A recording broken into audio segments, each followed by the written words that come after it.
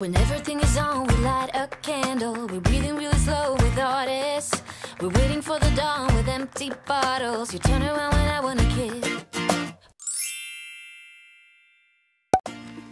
皆さんこんにちは橋本美香です今日はこちら100円ショップセリアで売られていたこのネイルマシーンというのを皆さんにレビューしていきたいと思います100円でネイルマシーンが買えるなんて本当にすごいと思うんですけどもはいそれのいいところ悪いところどちらも私目線ではありますがかなりねあの詳しくレビューしていきたいと思いますので楽しんで見ていただければ嬉しいです。それではスタート。まずね開封していきますがこちらのパッケージ。はいこの引っ張ったら裏に全部紙がついてくる。これあるあるですね。この紙なかなか破きにくいっていうのもあるあるだと思います。私はこの日ネイルをしてなかったので割と簡単にこうやってこう見た目悪いですがビリビリと破って開けちゃいました。でビットが3つと本体の4点セットになっています。はい。であの良かったです。このパッケージなんとか何が何なのかっていうのがギリギリ見えるように開封することができました。はい皆さんも開ける時にはちょっとそこを注意して開けてください。まずこちらの白いビット。これはですね甘皮ケアに使うというふうに書いてありました。はいで次にこのピンクのビットの小さい方。こちらは爪の表面の凸凹を整えるのに使うというふうに書いてありました。で最後この一番大きいものは爪の長さを整えるのに使います。はい。以上の3点です。そしてこちらが本体。本体はですねボタンが1つだけついていて押している間回転する。で離したら止まるというシステムです。でビットの差し口はこのようになっていましてしっかり固定するという機能はなく、と、差し込んで終わる時は引っこ抜くというタイプになっています。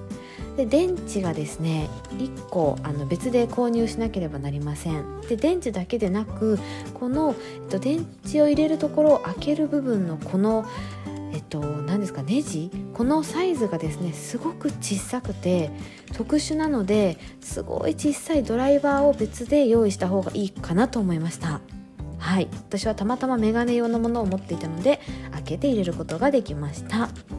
ではですねビットをこのようにぐっと一番奥まで差し込みます。で取る時はこうやって引っこ抜く。でピンクの方も同じ。ぐーっと一番奥まで差し込む。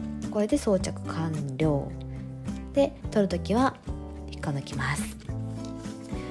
でこのビットの差し加減っていうのは割とスムーズにできました。はい。特に問題なくできたし引っこ抜く時も全然簡単にシュッと取ることができたのでそこは問題なかったかなと思います。でねえっとボタン。ボタンの押しやすさとかも特に問題なく。はい、ずっと押していてもそんなにしんどくない柔らかい柔らかいというか軽い。仕上がり仕上がり。はい。ボタンです。で実際に回転させてみました。でここで結構ね問題が私の中で問題があって動画で見てもらったら分かると思うんですけどかなりブレがあるように思います。分かりますかね？この回転させてこうすごく綺麗に回転するのではなくブレながら回転するっていうのがちょっとね言葉で説明しにくいんですけど楕円に回転するというか綺麗に回転せずに結構ブレがあるのが私的にちょっとあの怖いなと思いました、うん、これが綺麗に回転しなくてブレが大きければ大きいほどやっぱりねちょっと爪とか皮膚に使うのがあの心配です。ここだけちょっとデメリットはい。ではその回転っていうのがどのくらい、えっと、普通と差があるのかっていうのを紹介するためにはいこちら。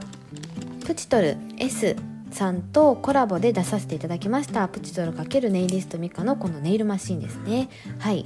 こちらのネイルマシーンのこの回転具合とかと結構比較したら分かりやすいかなと思ったのでちょっと紹介します。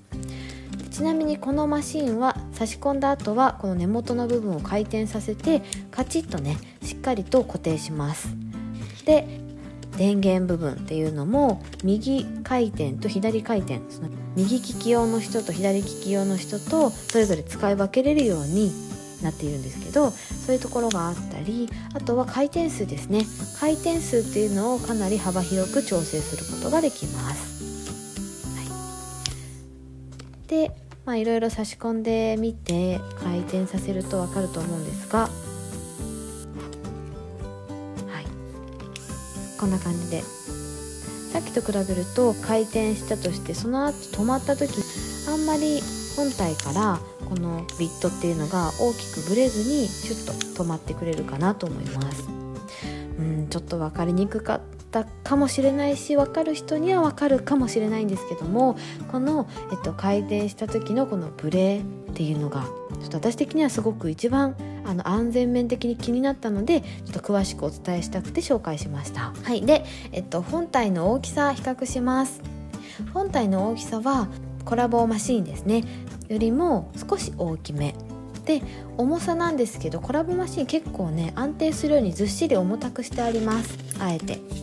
でこの100円ショップのものはすごく軽いので腕が疲れないっていうのはいいけどあの軽い分ちょっとこう安定感っていうのがなかなかないのかもしれないなと思いました。はい。まあそこもねいいとこもあり悪いところもあり、まあ、値段もかなり安いのでこは目をつぶってもいいのかなというポイントではありますがそんな感じです。で実際に使ってみます。で実際に使ってみて分かったんですけどもこの白のビット甘皮に使うにしては結構大きいなというふうに思いました。えっと普通の甘皮ケアをする時に使うビットよりも一回りうんか一回り弱ぐらい大きいのでこう爪の根元に当てるっていうのが難しかったです、はい、私でもちょっとやりにくかった。細かい作業っていうのがちょっとできなかったかなって感じです。でえっとあとこの一番大きな先端の長さを整えるビットに関して特にその症状が現れたんですけどあの長さを整えようと思って爪に当てているとその摩擦で止まってしまうっていう現象がね結構起きました。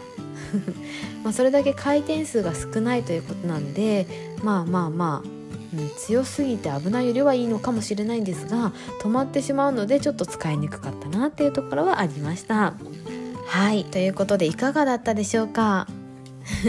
ちなみにですねネイルマシンを使う前ですねちょっとあのトゲトゲ角がトゲトゲしていましたのでお持ちのネイルファイルに少しだけもう本当に2秒3秒でいいんですけどちょっとあの角を落としてあげるような感じでファイルに当てて少し2秒3秒だけ回転してあげるとあの安全です。はい、でえっと甘皮を押し上げて表面を整えて長さを整えた後目立った甘皮とか、えっと、ささくれっていうのはキューティクルニッパーでカットしてあげる方が、えっと、爪や爪周りというのは綺麗になるのでもしよかったらやってみてください。はい。ということで今日は私目線ですが100円ショップで売っているネイルマシーンというのをレビューしてみました。いかがでしたか？はい。もしいいなと思ったら皆さんもゲットして使ってみてください。ではでは今日の動画良かったよとか、えっと、他にも100円ショップのこんな商品レビューしてほしいというようなリクエストなどありましたら動画コメント欄でぜひ教えてください。それでは動画を最後まで見てくださってありがとうございました。また次の動画でもお会いしましょう。みかでした。バイバーイ。